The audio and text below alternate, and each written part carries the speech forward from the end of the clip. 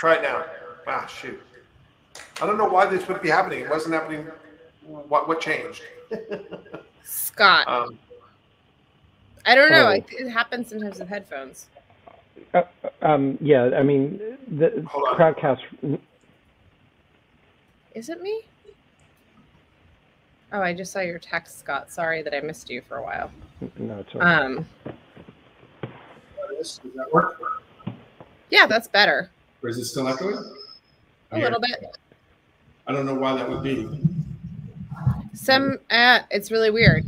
Um, oh, you might have two windows open, Nate. Do you have two Yeah, Crowdcast windows yeah. open? Maybe. Let's. I'm going to turn everything else off. Ah, yes. That's the problem. That was the problem. We're getting All so much better. It's only taken us 568 episodes, and we're live. Yeah. No, no, we're, we're, we're going to be, we're going to be, we are going to be up when Omicron really crashes. Yeah, it will. It'll be well. It'll be like the second pandemic. Will be like our gold or like our sweet spot. I the, the the conversation on that show is is for shit, but they're they got their tech down. yeah, exactly. Yeah. It is Thursday, December 16th, 5:05 p.m. I had a late intro uh, because we had a little bit of tech glitches, and I wanted to get us sh- started on time in Ben's absence because we know that I'm not great at that. Um, but we're not allowed to have fun anymore.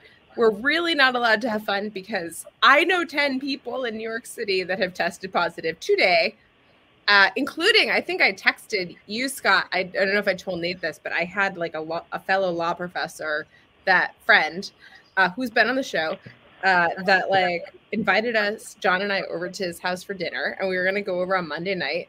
And he was like, "Oh, like I went to a thing on Saturday, and this person tested positive, and so, but I tested negative."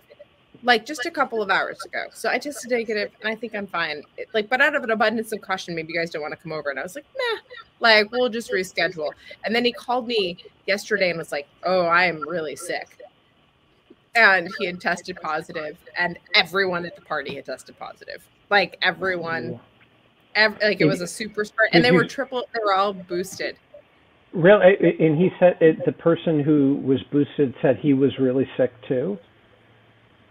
Well, he like said it was like a flu the first day, and then a bad cold. Oh, but okay. he was like sick.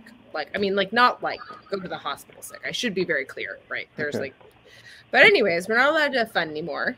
Really, increasingly looks like we're not allowed to have Christmas anymore. I mean, like, if the last two years is any indication, glad we got in Hanukkah early. Um, snuck it in under the the lunar wire. Um, we are allowed this, have- this is the this is the way conspiracy theories start, you know. So uh, Oh God! Don't say that, Nate. I'm just learning all about the crazy conspiracy theory. Like Ben is teaching me about what is it? Con- what is it? The capitalist globalists or co- cosmopolitan globalists? I didn't know. I didn't know that theory. Yeah. Do, do, do you want do you want to see my uh, my business card that has that on it? That's that's my. Uh, Does it really? That's amazing. We well, we had a woman on the show on Friday that was like has a newsletter called the Cosmopolitan Globalist, and I was like, oh, that's an interesting like newsletter. And like Ben is like, she might as well say Jewy McJew, and I was like, I was like, what? And I'd literally never heard this before. Um, so this is like episode fifteen of Ben teaches Kate like the like the, what it means to be Jewish in the world. Um, but anyways, uh, we are not okay. I said this already, but we have Nate Persily on the show today. I've been really excited to talk to you for a while. I tried to have you on last week, but we got uh, overbooked weirdly. And um, but I'm super glad we can have you on today to talk about uh, the bill that you wrote, which I think you had talked about really briefly on the show before. But now it is an actual bill bill that has been introduced by Coons, Portman, and Klobuchar, and in the Senate. And um, I I want to start out by like in this in this schoolhouse rock scenario, Nate are you like the bill are you the kid sitting on the steps next to the bill are you like Are you like some like homeless person shuffling by? That's what I. Yeah, uh, I just put into the chat here the the text of the bill so people can see it, and and my the early version of the bill. I was gonna put uh, your yeah, I was gonna put your early version of the bill up if that's okay. Well, for the Coons, well, I want to. I'll talk about the the current version since that's the one that would be more likely to pass. The my, the earlier version, if you go to my Twitter feed at Persily, it's in the with my testimony at um, at the top of the page. So let me just tell the uh, genealogy this a little bit. So I had, as, as you know, I've been working for many years trying to get data out of Facebook through an, a, a, group called Social Science One that Gary King at Harvard and I studied. We've been banging ourselves against the our heads against the wall for for quite a while in trying to get the individual level data um, out there and and in the hands of the uh, social scientific community. We made some progress, and y'all can you know see more about that, or I can answer questions on that. Um, um, but but I became convinced that because of the obstacles that the general counsels inside Facebook and the privacy people were erecting to our effort, that only federal legislation would be able would could facilitate outsider access to platform data. I then started working about a year ago on legislation that would do that with a law firm. Uh, may I just say, may, may, uh, um, uh, Nate, just one quick question. Uh, um, do you think that the objections that general counsel at Facebook and the privacy people, do you think that those were like bona fide objections, or do you think they were just trying to hold you at bay? So I think the objections were were genuinely held. These were not pretextual. Um, but I disagree with their legal interpretations, both of GDPR, the European privacy law, and the FTC consent decree. Um, I, you know, I'm, in fact, I held a, a meeting in Brussels with people from Facebook and data protection authorities to try to say, all right, this is okay, right? And I'll and I'll say that the data protection authorities did not exactly acquit themselves well um, because they said things like this you, Facebook, will have a good argument under GDPR that this kind of data uh, uh, is, is okay. And it's like, you know, from the Facebook side, it's like, look, we don't want to know what a good argument is. We want immunity. And remember, this is this is just in the wake of them paying a five billion dollar fine to the FTC in the wake of the Cambridge Analytica scandal. So um, it's all well and good for me to say, look, these lawyers are being too lawyerly, um, but I'm not the one who had to pay a five billion dollar fine. So so, you know, as anyone who's dealt with Facebook knows, it is a they, not an it, right? So there are teams that are 100%, you know, behind us um, uh, in, on the data access side who, who themselves are academic. Uh, and then there are, are, people whose jobs are to protect the company from liability. And so they're, when they hear academics getting access to data, they think Cambridge Analytica. And so they were very restricted. Uh, and so the, the, problem is when, when it comes to data access and transparency in general, you have the privacy folks on the one side who are saying no, no, no, and they're pointing both to the um, the, the, history of Cambridge Analytica, the FTC fines, but then also people saying, look, what do we get out of this? All the academics are going to do is trash us anyway. So you know what? You know it's a net negative. And then on the other side is me saying, well, it's in the public interest. You know, we need to understand these problems. And then I also say to them, look, the truth can't possibly be as bad as what everybody thinks about you, right? I mean, this is the pitch that I've made to all the Silicon Valley companies, which is that you know we if you have academic access, we'll be able to tell a complicated story, unlike the one that is sort of reflexively appearing in print. And so, uh, so so then that led me to try to work on a legislative solution here. And um, I was, you know, kicking it back and forth, sending it to a lot of different people to get comments. Then, when Frances Haugen was called to testify uh, in the Senate, I, I figured, all right, you know, now's the time to release this. I mean, because I could have gone back and forth for another 100 drafts. Um, but the day that you testified, I then said, look, if Congress is serious about doing something here, here's something that they could do.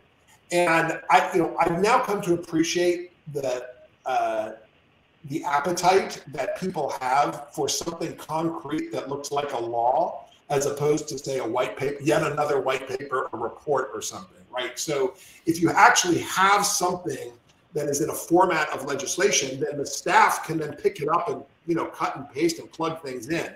Um, Can we so, actually talk about that for a sec? Well, you finish what you're going to say, but I yeah. really want to dig into that because no, I'm really curious. Let's dig into that now. I mean, that that I think is that that turned out. I mean, and this is, I think, a um, lesson for tech regulator types in general. You know, people who want to propose something. It's all well. I mean, the the, the line that I've used. It's it's not only that the details matter the details are the only thing that matters, right? It's yes. all good to talk about, you know, CDA 230 should be repealed or this and that, or, or, or how we're going to protect children on Instagram. It's like sit down and try to deal with the trade offs. And so for me, the biggest trade off to deal with were the privacy considerations, right? How do you create a, um, a, a protocol for researcher access to firm data, much of which is, you know, sensitive? uh, and do it in a way that you will not have privacy leakage. And so, for example, there are other models that we can, well, just so the audience knows, the the the, the proposal that I made, which is incorporated into the Coons Portman Klobuchar Platform Accountability and Transparency Act, is that the FTC, working with the National Science Foundation, will uh, basically compel the platforms to turn over data to outside researchers, but the data will reside at the firm in a controlled environment, and nothing will escape from that environment unless it is done. There's a privacy review that would be conducted. Right. Yeah, so that's basically a FISC. Yeah, well, yeah, yeah, and it's not it's not dissimilar to what we experienced, say, with census data. That you can you have these sort of sworn researcher uh, with, with sensitive census data, like the individual level stuff, not the stuff you can get on the web. And um, and there are other models with healthcare data sets and uh, you know where you just have some vetting of the researchers you have actually in surveillance of the researchers as they uh, conduct their analysis um, uh, and then looking at their data you know, looking at whatever leaves that room to make sure there's no leakage of privacy and and so but once they if they abide by that system then they will be completely immune from any suits related to violations of privacy as a result, right? That's the idea um, uh, behind, you know, granting this particular procedure. And so there, there are three portions to the to the Coons Portman Klobuchar bill. That's the first one. The second, which is something I also was pushing, is immunity for researchers who engage in scraping um, of publicly available data. So you've had Laura Edelson, I think, on your show before, didn't you? Right. So mm-hmm the audience might be familiar with what happened with NYU, where there yep. was a group of um, researchers who were kicked off of Facebook because they had propagated a plugin to kind of uh, well to scrape people's experiences on Facebook that would then reveal something about ads. And um, and so this would immunize folks like that from criminal prosecution under the CF, the Computer Fraud and Abuse Act, as well as uh, civil claims so they won't be bankrupted. And then the third part of this is something that that Brandon Silverman, who ran CrowdTangle, all helped. I sort of worked with, brought him into this conversation. CrowdTangle was the API that um, that well, it was a company that Facebook bought that allows newsrooms in particular, but academics use it as well to see which stories are getting, which URLs are getting the most engagement. And so there's a series of provisions in this bill that would require public disclosure of non-private data, right? So that Google and Facebook, when it comes to take, when it comes to content moderation, when it comes to algorithms and advertising, this bill also requires them not only to provide the kind of clean room access, but to uh, scrub the data so to make it available publicly.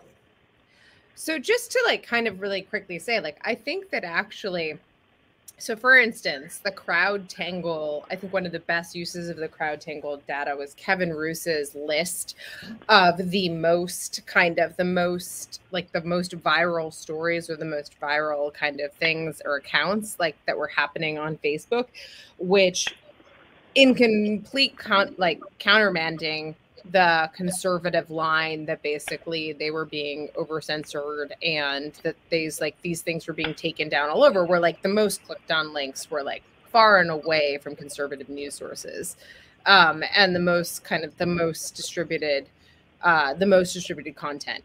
And so like to your point though nate your greater point where you start about the genealogy of this whole project which is like to the platform's behest is like this level of transparency because it will allow for more kind of but then like CrowdTangle stopped cooperating. I don't know actually how that all ended up, like the details of that, like ended up kind of like falling out, but that kind of fell away, and the everything with Laura Edelson fell away.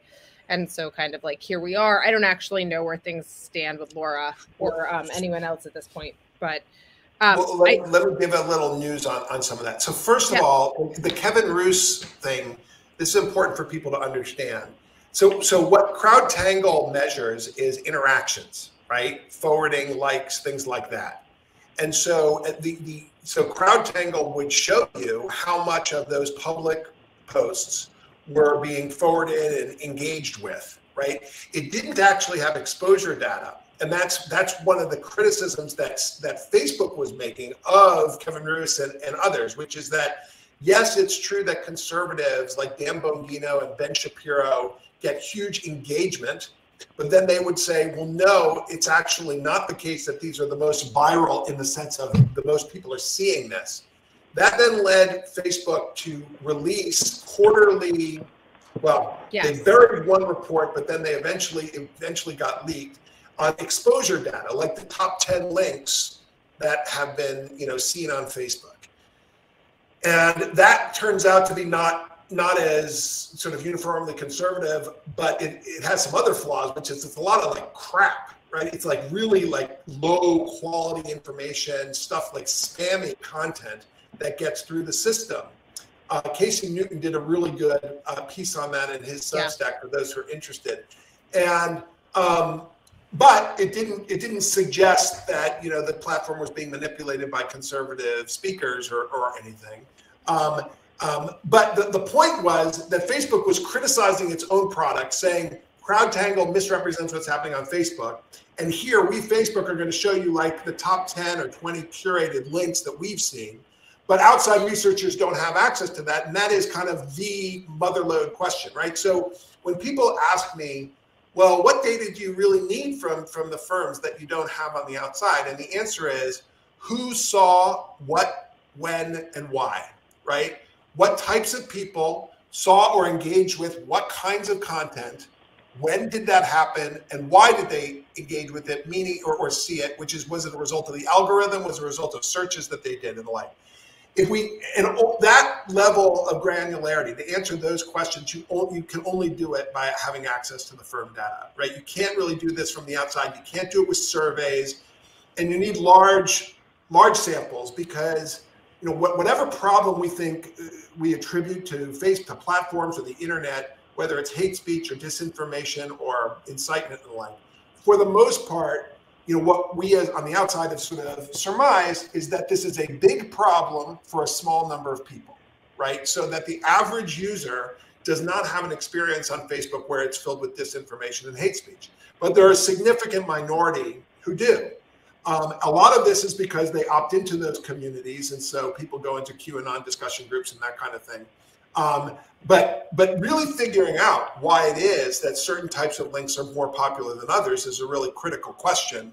Uh, if you're now going to design interventions, whether in the U.S. or elsewhere, to get at you know the problem, whatever that problem is. Are there are there other um, are there other industries that have federal requirements to divulge information to help security uh, to, to help researchers?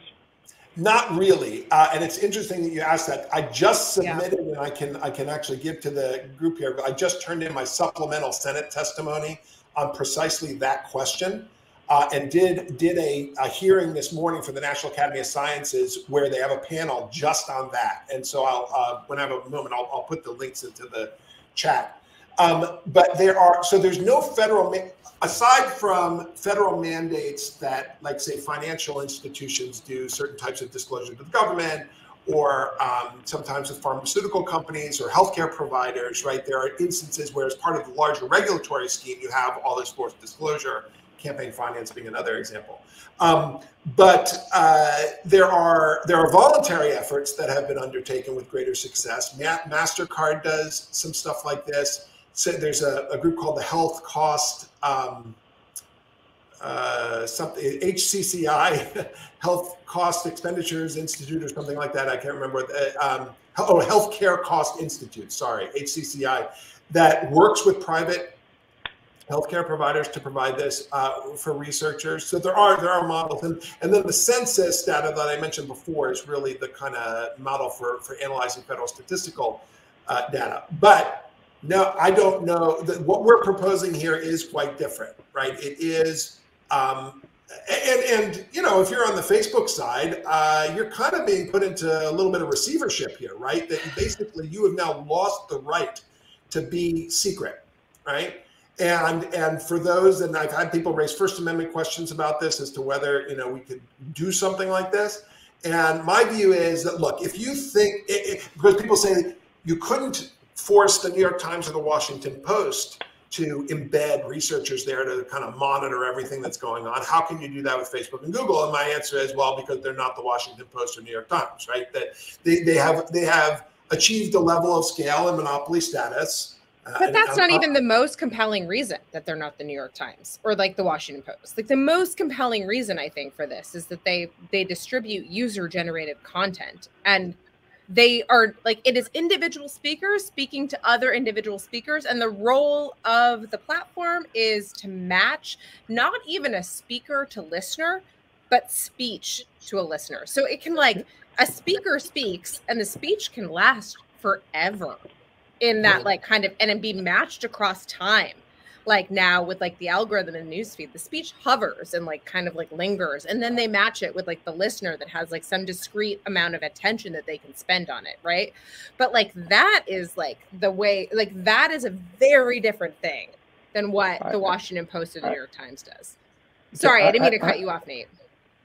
Scott, I, I I would just say also that the that uh, just following up on what Kate was saying, but that there are certain um, privileges that being a platform gives you that is obviously Section 230, um, uh, immunity. And so I, it, it would seem like if you are immune, for, I mean, the, the New York Times and Washington Post are not, don't enjoy Section 230 when they're in their print incarnation. Um, and so, like, I think it it's perfectly um, proper for for for Congress to say if you get this this immunity, you have to show that this is appropriate. Um, right. Anyway. Well, but uh, look, all websites right that host user generated content has 230 immunity for that content, right? And so for that reason, too. Pardon me. For that reason that Scott said.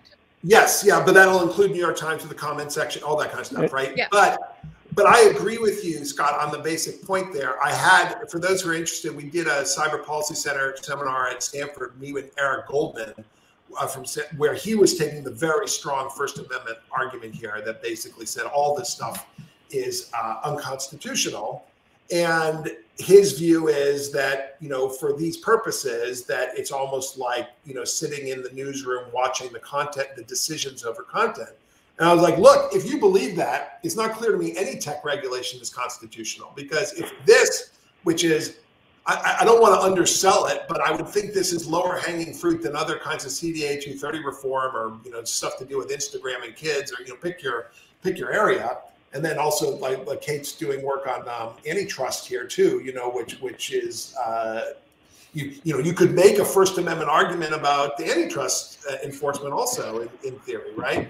Um, you know, you can absolutely make a. I mean, that this is like yeah, sorry, but like, but yes, I mean the or or the lack thereof of like an antitrust argument is like actually kind of where I come out, unfortunately. But like, yeah. uh, uh, it, it, was necessary to like a like a math problem that you look at it and you know what the answer is, but like then like the like the math like you're not going to get any credit if you don't like show your work, and so like feel like I just spent like six months of my life showing my work, but yes. Uh, like, well, I, I, I, well, anyway, but the, the point is just that like if this transparency law is unconstitutional, that we can't force them to disclose certain things, then I think you know there's a real question for for other uh, tech regulation here. But you know, um, the the Scott mentioned CDA 230. There is something in the final bill that I did not have in mind, which is removal of CDA 230 immunity in the event that they uh, the platforms don't cooperate uh, with the, these kinds of public interest obligations. So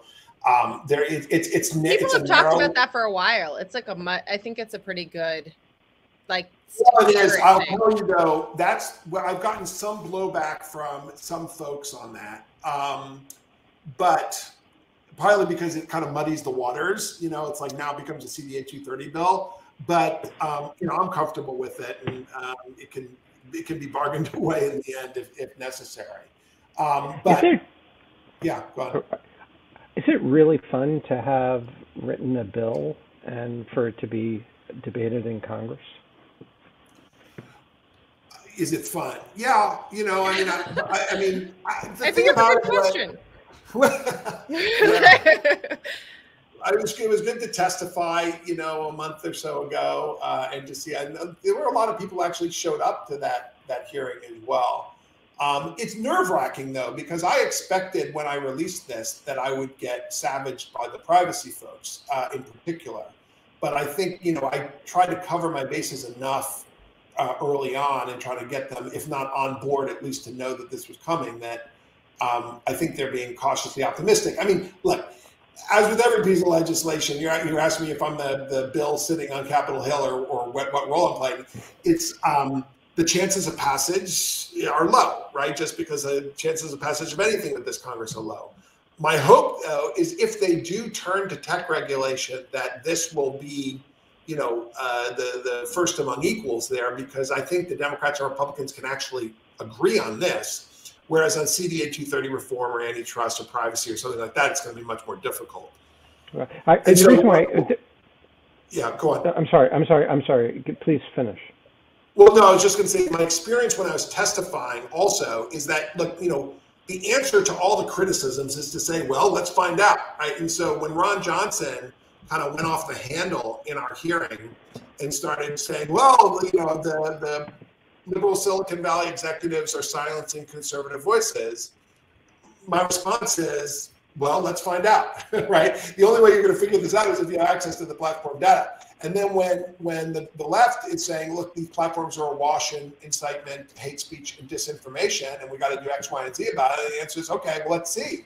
I mean, like I said, I, in the last year or so, I've become more skeptical on the role of the algorithms in promoting some of this content. I'm open to the possibility that that still is happening, that the, the algorithms are for the general, but um, I, I've, I've become more convinced that the problem is these concentrated groups of users who are opting in, in many cases, to these communities, whether it's through Facebook groups or otherwise, where they are um, then becoming radicalized. And, and, look, that's still a Facebook problem, right? But it's a different problem than if it's just the algorithm. I I 100% that matches 100% with my what my intuition has been for a while. And I really doubted my intuition for a while because people went so hard at the algorithm and I was like, is there something that I'm missing about what this algorithm is? Like there like because this but I don't I don't know that there is, but like, anyways, Scott, you were going to ask a question, so go ahead. Oh, I was, I was just going to say that, like, you you made it sound so fun. I'm I, am i am thinking of writing my own bill. Um, sure. Uh, uh, um, well, but everybody so that, says you're you're in the pocket of big philosophy, so I don't know whether you know. Uh, I, I, yeah. I do. I uh, yeah, I do want to have uh, immunity for all legal positivist um, speech. Um, I heard so Weber is like really in the money. Yeah, well, uh, uh please, uh, you you write your own bill, um, um Kate. Um, um, do do we do we do we do we think this has a chance of passing? What what what do the handicappers say? So the, the where I conversations are this week is trying to think what the, the vehicle the vehicle will be for this bill, right? So is it would it be by itself, or would it be um, attached to some you know some other tech bill, some other budget bill, or or the like? And I think um, it really dep- I, I think things are going to shake out as to whether whether they're going to move on privacy, which I think is probably unlikely because that's that's a hornet's nest, uh, and whether they're going to move on um, the stuff with Instagram and kids, right? So that's another area mm. where you get hmm. the um, bipartisan cooperation. And so, could this be thrown in with that? Now, the problem with you know dealing with the, the kid problem online is that it's hard to do that without kind of collateral consequences on anonymity generally on online because if you introduce a kind of age verification system to the internet, right, that is a pretty big deal. And so not I that think you even could. What'd you say? Not that you even could. Right, right. Well, you know, you could figure out ways, but the you know they're either not going to be effective or they're going to be draconian. And so, so once they have to deal with those problems, we'll we'll see. Uh, you know how how things shake out. Um, but but that's what I've heard, right? Is that it's like we got to figure out some other way to put this. And, and you know, part of what I my job right now, and for that matter, all of us who care about this, is to try to make the case that transparency is actually a big deal. That it's not. I was did a I did a webinar with with Zephyr Teachout that Frances Haugen was on and some others. Wait, that was mine. that different one. The one that you yes, the one you did for Harvard, right? Yeah. Or Yale. Yeah, yeah, yeah, or Yale, yeah, yeah. And so, I did, I did this thing that we organized. Basically, you have to understand all of my professional achievements these days are due to Kate Klonick, and so we should just. We're- I, I'm, I'm here. I'm here only because of Kate Klonick. I mean, Yeah, so- right. It's more here like the opposite. For both of you. But uh, but no. Bengali behind the scenes on all this. But, I- but, But but I did think that like this. Are you going to bring up the fact that like the? Oh, sorry. Go ahead. What were you going to say Well, what I about was the just Zephyr going to say, Zephyr uh, Teach Out went after me saying, "Look, we've got to be bold." I'm like, "Sure, let's be bold. Show me your bill." You know, it's it's Mhm. like, but this is this is the area that I, I know about, and so wanted to move. But the point is, this is a big deal if it actually got enacted because. You know, if, if Facebook and Google know that they are being watched, right? Know that outsiders are going to have access to their data, that will change their behavior, Of right? There are course it will. implications to that, and Of and you know, I think that uh, we need to think about it that way that it's not just about providing kind of luxury good to academics it's about putting you know kind of treating these companies as qualitatively different than other companies and that the potential dangers that they're wreaking on democracy just lead us to say that they're going to have to you know lose their right to secrecy So I really kind of I think that this is I think that this is exactly right and that transparency has that role. And I also think that one of the things that um I I think that like kind of I was speak I, I can't remember. I actually can't remember. I was with something with Laura Edelson recently. And I basically said that you have to have this type of data that Facebook makes available to researchers, like with Social Science One had done and you have to have kind of the backstop of someone scraping no. and being allowed to scrape because that is actually the the part about like you can't just have Facebook giving data to researchers and that being the only thing. There have to there has to be like a double check. Like that is why like the like the mismatch is where the account like transparency turns into accountability. Um and that's like I think kind of something that people don't talk about as much because they're just always like but that's one of the beautiful things about this bill nate and i think is awesome i wanted to quickly where i have we, there's a ton of questions but i wanted to quickly mention i was talking to renee DiResta recently and we were kind of like chatting because um, renee and i had known each other before either of us were involved in this space at all um, like way way before through like mutual friends and like the like just new york world. And um, we were kind of chatting about how we have been reluctant to have normative conclusions on stuff for the last five to six years and this how much the space has grown in just six years. And you were kind of saying this nate and i was thinking about how you were kind of talking through the CrowdTangle problem of how information moves. And i could feel myself even like i have heard this before but there is a part of my brain in which there is like it is still new information and i'm still trying to fully like hold it all in my head against all of the possible meanings and the ramifications of what that will mean.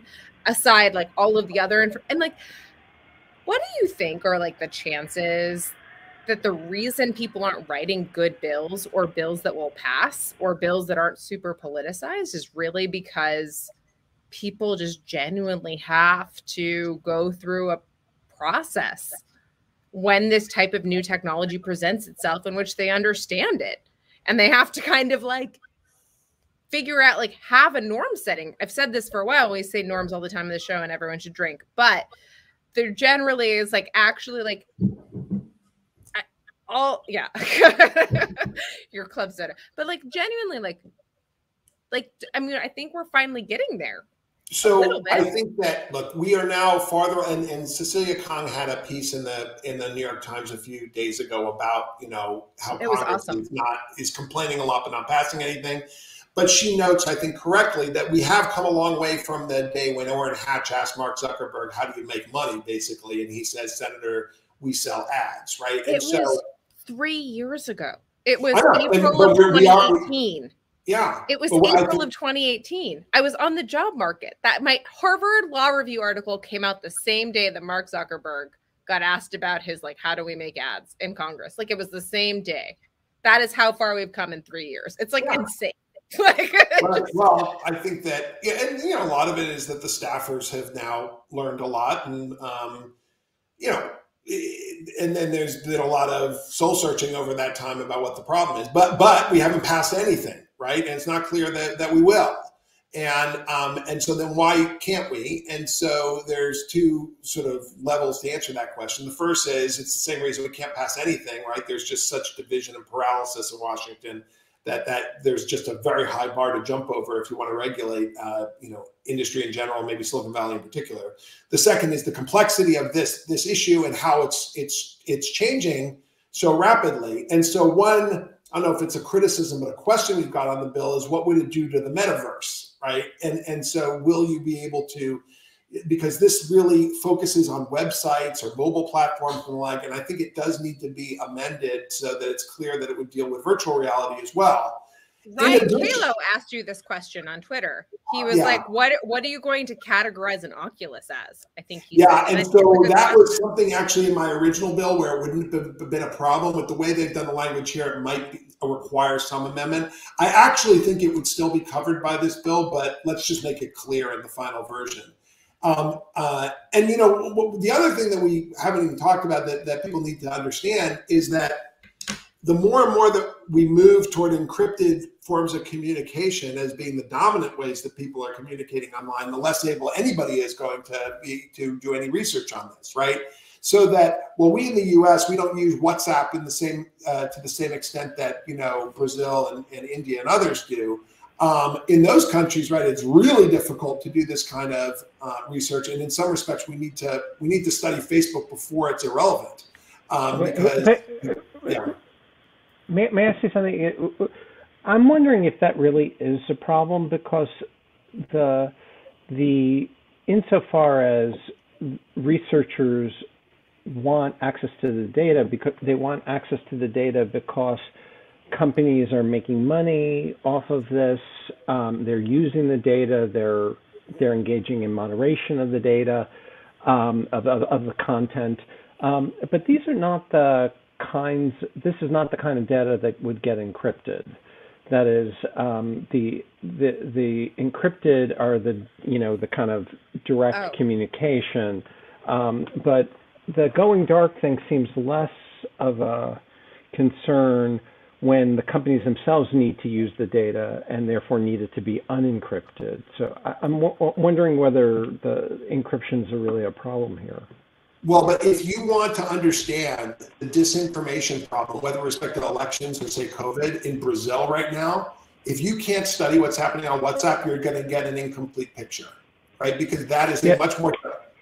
And so no, no, is, I, I, yeah, I, I, I, no, I, I get that for, for, for WhatsApp, which are which are not the same kind of platform that something like Facebook is, but Facebook itself or Twitter or any of those types of companies, they're going to have their content unencrypted or else they won't be able to use it to sell. Yes, that, that's true. But but part of the question is how relevant will those? I mean, what what does the sh- audience share for encrypted platforms on the one hand versus unencrypted ones? And I can tell you, you go outside the U.S.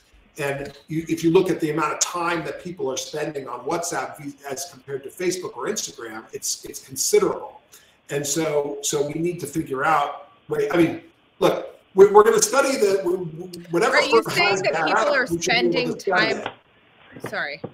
What are you, are you saying that people are spending time on WhatsApp messaging each other or looking at like that, like basically like individual link you're you're basically making the point that individual sending individual links to your friends through these encrypted messaging services taken over posting it on Facebook or yes, Twitter. Yeah, I mean, okay. this is the thing. Again, in the U.S., we don't quite appreciate what's happening in these in these other countries, but but you know, WhatsApp is not a kind of simple text messaging app in these other countries, right? Yeah. People run their lives on WhatsApp, and it's the size of the groups in the political uh, parties have figured out very complicated and, and clever ways of using WhatsApp to propagate messages. So if you're trying to figure out where the sort of the roots of viral communication are, in, in on, on, much of the disinformation and hate speech, a lot of it is going to be um, on WhatsApp. Okay. No, Thank it's you. a really good point. Um, yeah.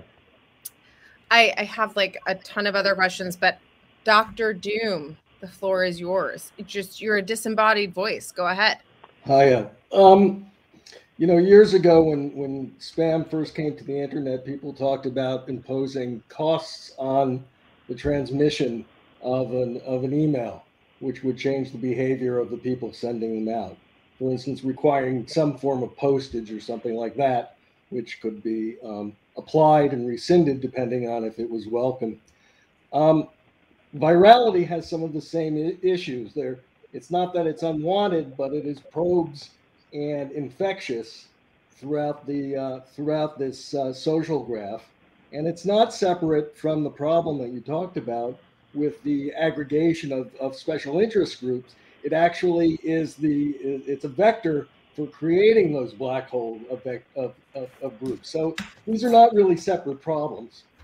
So one, one of the issues is that there's this notion of, of free speech but it doesn't mean that there's necessarily a, a, a free pass for virality. And the question is, what is the what is the uh, simplest mechanism that requires the the simplest uh, level of of uh, of, uh, of monitoring, um, and that it is and and behave it depends on the behavior of of people, the behavioral economics of people. If I have a cost, if I know that my message is going to propagate beyond a certain level and I'm going to be charged for it, I'm going to think pretty carefully about sending something out into the into the into the uh, into this viral uh, uh, you know mess. I could I could for instance say, look, I'm going to send this out and it will go two you know two levels beyond me and I don't get charged, or I have a budget of a number of, of propagations, and after that, I get I get charged. And so, the, would it be possible, and it would it be reasonable to have some sort of fee associated with both the propagation um, in breadth, which is to say, to the people around you, and in depth in terms of its levels, that would mitigate some of this automatically, some of the some of the problems that you see with uh, viral propagation? And it's a question rather than a, a statement that it would. Yeah. So first, let me agree with you on your first point, which is that yes, there is a marriage of algorithms with self-selection. So that, for example, Facebook's recommendations of groups are a way that the algorithm then leads you to these self-reinforcing communities.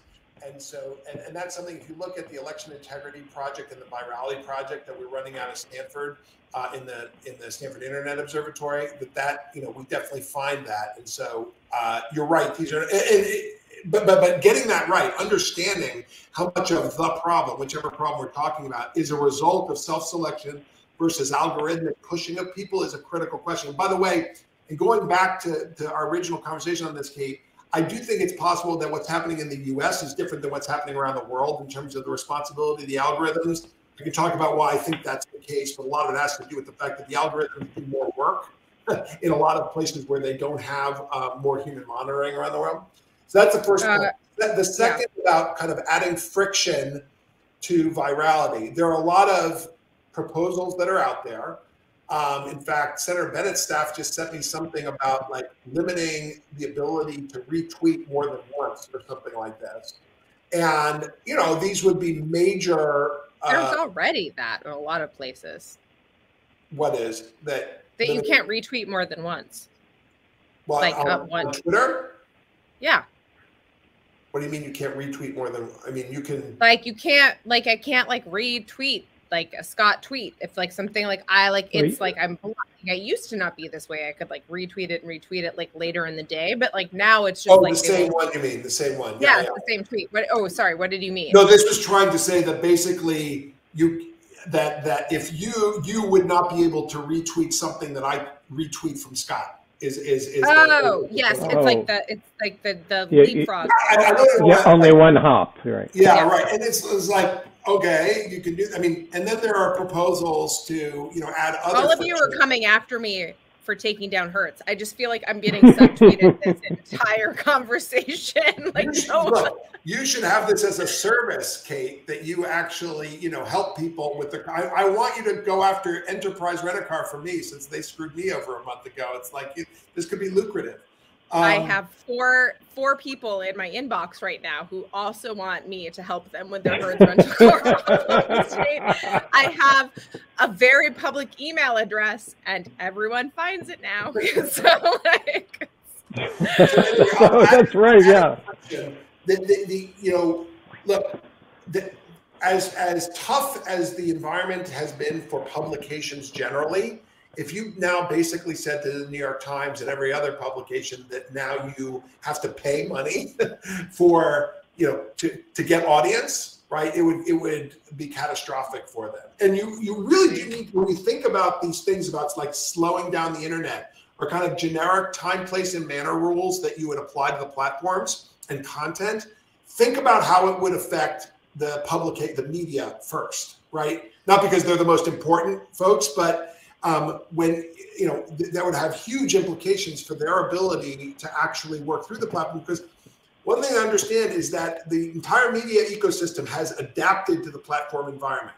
Right now, we, we there's no way we're going to be able to take the genie out of that bottle, or toothpaste out of the tube, right? No, they've completely they manipulate it like they're like some type of like marginal democratic like country or something.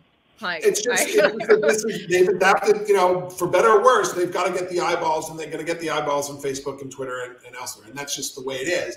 And so now if you say, well, no, we're going to make it more difficult for your stories to go viral, then we have a problem. And then, of course, then the issue is, well, can you distinguish between the New York Times and Breitbart? Can you distinguish between, you know, certain types of speakers? But then we're back to the content moderation problem in, you know, writ large. Um, last thing I'll say on this is that uh, advertising is an area where I could see some of this friction being employed, so that um, uh, the you know requiring human moderation of advertising, having kind of uh, cooling off periods to make sure you can't like particularly political ads like do something uh, immediately. Uh, so that's something where I think you could have greater federal regulation on this. But I think just like slowing down the internet to deal with the virality problem, it's going to be a very difficult thing to do. Yeah, I think that that's I think that's the other thing that I was going to say is that we were talking about social graphs. Oh, I like your T-shirt, MF. Uh, that I, that there was a coincidence. Yeah. Um, yeah, just a coincidence. he's wearing an in lieu of fun shirt. It, uh, it really but, was. I just grabbed it. it. Was the next one? I, I have a system. Here's your. You have ten of them. Um, but I was going to say three that, uh, rows. Uh, and you have to take the first one from one of the three. I want one of those shirts. All right. Uh, we'll send you one. Um, we can send you is, one, yeah, for sure. There, I was just going to say really quickly.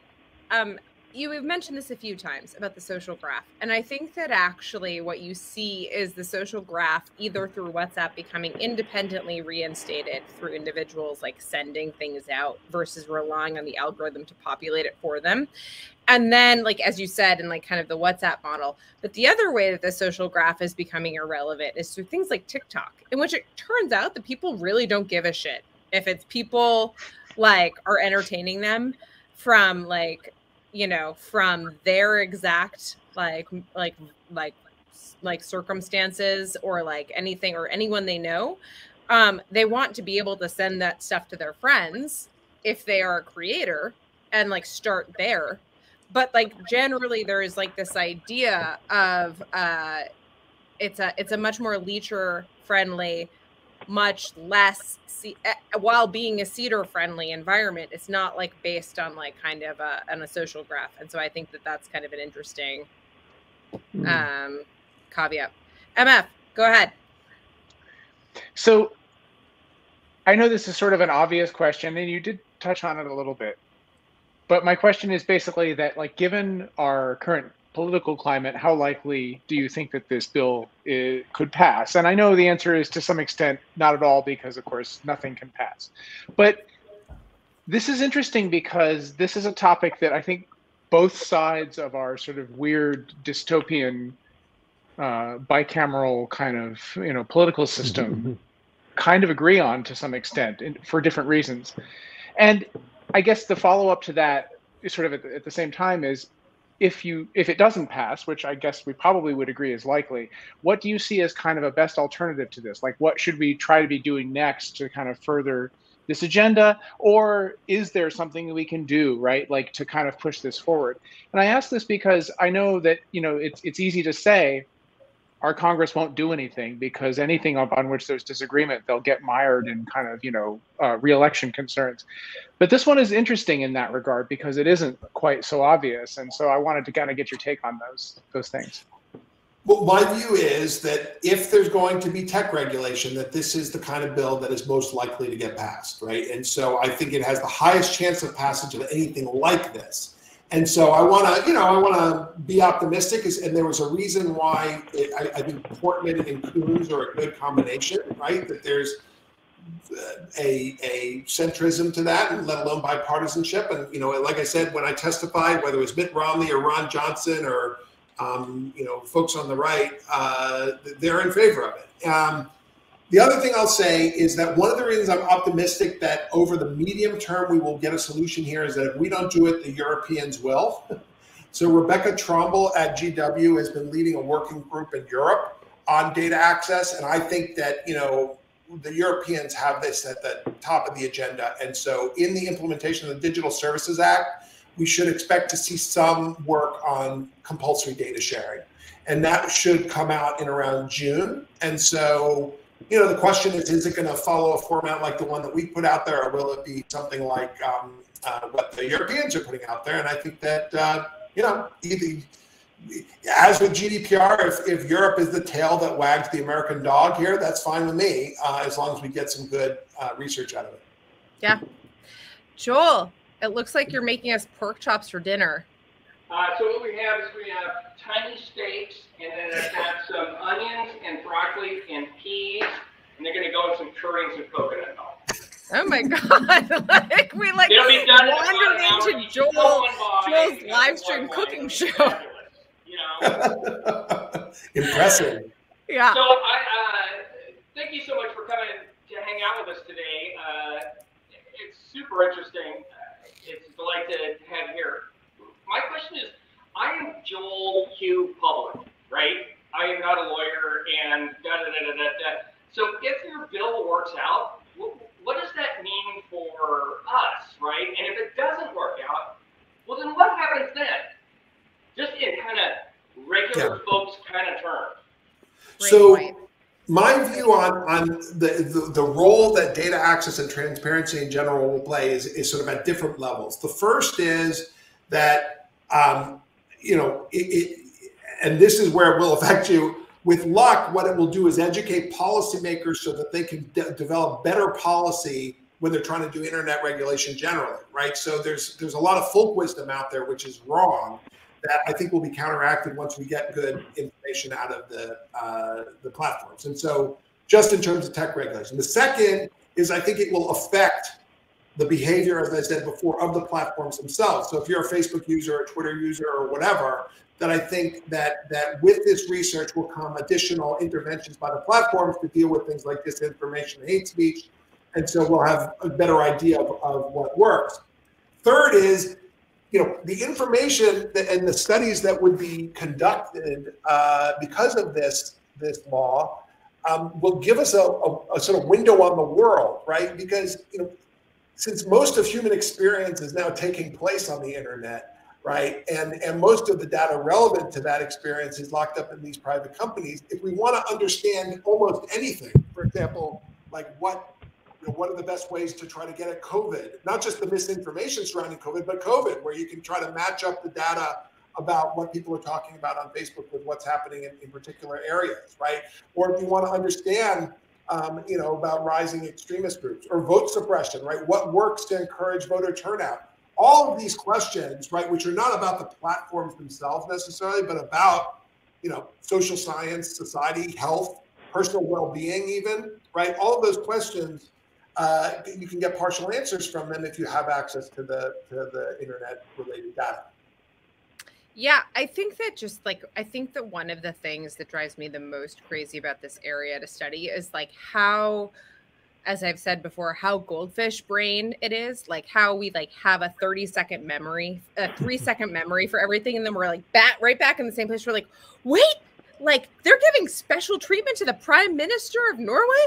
Like it's just like, holy shit, like come on, like let's just be, you know um but like I, I mean really like it it does feel i mean that's like the thing that over time has been like kind of mind bending and like i wouldn't get through it without people like you nate and like all of the work that you support through the cyber policy like center like i mean honestly like daphne keller is like my like my like like my my I don't know what is the, like what is a stone that you touch to get power? Is there like something like that? like that is that's Daphne for me. I was just like I feel like anytime I'm with her, like I just like get smarter and like have I, more I interesting conversations. She is the, uh, the the north star for many of us. So, yeah, I mean, so it just it's great. Well, one of the things that seems so interesting about the bill is that if it passes or to, to, to make the argument for its passage, each side gets to say that they own the other side, right? So, like the conservatives say, we own the libs because now we're going to see how big tech is. I mean, it's a point you made at the beginning. And then the liberals will say, ah, now we're going to see the ways in which disinformation is, is circulating. It reminds me a lot of like, sentencing guidelines in the 1980s were were that was enacted because conservatives uh, have said, "Oh, we'll see that the liberal judges are too lenient," and the liberals are saying, "We'll see that the judges are too racially discriminatory." And so, if each side can say they own the other side, then then that's democracy. Don't tell anyone, Scott. That's our secret. I really that hope is... they don't pass your bill, Nate, because we'll all be owned. Yeah. no, but seriously, Nate, I, I, I think that this is, as you said, it is the hardest to put details onto this. I have contemplated how I would write such a thing many a time. I have no idea. Your, um, I actually learned a ton reading the draft that you had before it got kind of all manhandled by the staff members that are probably like, okay, let's give them some credit, but also I didn't elect you staff members, so like whatever. um, but seriously, like I, I think that it's it's it's a it's a it's a it's a thankless job, and I know you worked really really hard at it, and you did it while redistricting an entire state, couple of states, I think, couple of states, yeah. That's like, that's yes, well, you can see my. Uh my maps. Yeah, that's my. I just want everyone to know. Next, yeah. When I wake up at six o'clock in the morning on the East Coast, I sometimes like send Nate a message on Signal, and he often responds at like within three minutes of me texting him because he's up writing some redistricting proposal to be ready for a 6 a.m. like email inbox of somebody on the East Coast, and it's just like kind of incredible. So, like, man, no one told you that when you finally get tenure at Stanford Law School, you don't have to work this hard. Like, what's going on? well, th- those of us who work in the democracy area, it's been a you can call it embarrassment of riches or embarrassment of I don't know um, tragedies. Um, yeah, yeah, tragedy. And so you know, look, before the redistricting, I was working on as because I was on the show talking about the Healthy Elections Project, trying to help local election officials prepare for COVID. And then it was out of the frying pan of election administration into the fire of redistricting with, you know, doing the cyber stuff along the way. So, yeah, I mean, right now I'm done with Maryland, I'm done with Utah. I have uh, Puerto Rico left in my that I have to do, and I've got several local governments, but we'll see. That's before didn't the court. You, didn't you do Pennsylvania? Well, I did Pennsylvania. The, the ones that I did I mean the ones I've just done the last year, and then before that I've done Pennsylvania, New York, you know, Connecticut, Georgia, Maryland. Uh, but but um, but we'll see. This is before the courts have gotten involved, right? So we'll see in the coming weeks whether uh, the courts are going to start uh, drawing maps uh, in different places. Wow. Yeah, that'll be wow. super interesting. Get this man a clone. We need like two of you. like yeah, I, I mean, you re- you re- you've really totally psyched me up. But like tomorrow, I'm gonna the in the morning I'm gonna write a bill for Congress, and then in the afternoon I'm gonna start fucking redistricting. Um, because we need a, we need a good make, acronym for like legal positivism for all of us or something. But you got to figure out how to make it spell. Yeah, come up with the acronym, Scott. Yeah. That's the first step. Right. I, I I wonder exclusive legal positivism for all doesn't kind of work because of the exclusive and the for all but but I will I will work on it. But thank you very much. You've you've been an inspiration, and I know we, have, we um, workshopped exclusive legal positivism and why it's not for everyone before. So, like, so this is this is not news to Scott, but yes, Nate, thank you so much for coming on. Thank this was you. a really fun way to spend an hour. Um, and we will be back 22 hours and 55 minutes from now. I think with Mike Pesca is going to be joining us tomorrow to hang out um, and talk about how the gist is going now that it is rebranded with a naked cat on Apple Podcasts. Um, it's not a naked cat; it is just a cat, but like it doesn't have any fur, which I guess is the same. Whatever. Anyway, uh, Nate, it was a pleasure as always. We don't have fun anymore, Scott, but in lieu of fun, we can write our own bills. We can write our own laws for, for, for, for Congress. We can redistrict. And we can reply to Kate at three in the morning Pacific Standard Time. Um, bye bye. Thank you so much. Thank you so much. Bye.